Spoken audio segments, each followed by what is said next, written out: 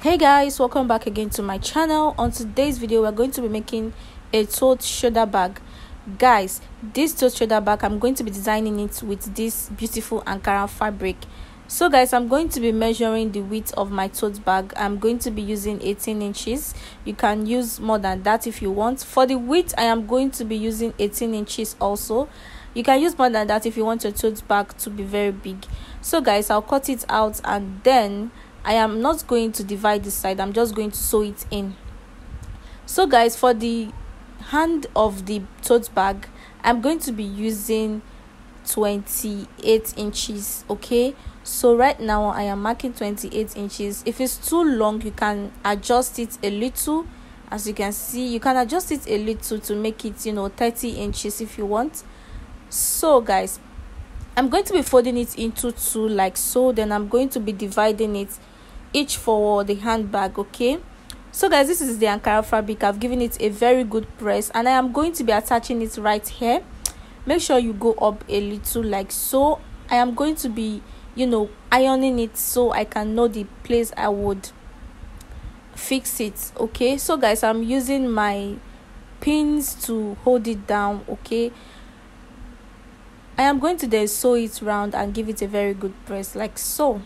So guys i'm going to be turning it into two. Then the side i told you i am not going to be cutting i'm going to sew it. As you can see after sewing it this is what it looks like. So guys i'm going to then give it a very good press. And guys i'm going to be folding the place i'm fixing my zip.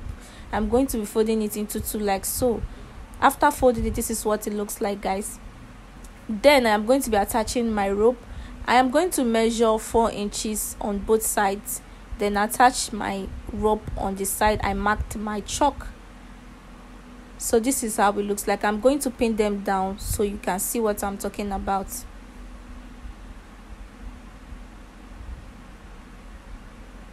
So guys i'll take it to the sewing machine and stitch it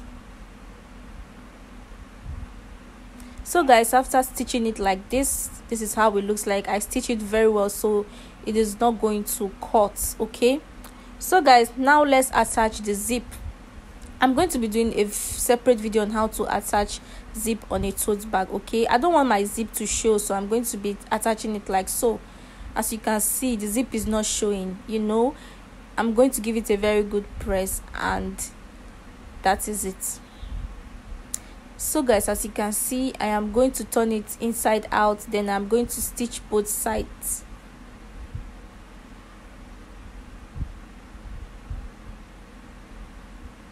so guys after stitching both sides this is what look it looks like. I stitched and i weaved it okay? So guys our tote bag is ready. This is a very easy and simple tote bag to make at home okay? You don't need to buy tote bag in the market.